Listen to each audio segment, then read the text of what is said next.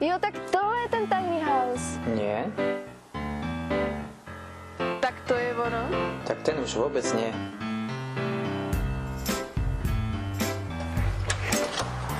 Tak tohle je ono. Vieš čo, poďme sa radšej na to pozrieť. Ani vy neviete, ako taký tiny house vyzerá. Ako sa v ňom býva a či je vhodný pre vás. V Brne plánujeme postaviť prvý ukážkový tiny house, ktorom si toto minimalistické bývanie môžete sami vyskúšať. Ďakujeme za podporu a tešíme sa na vás.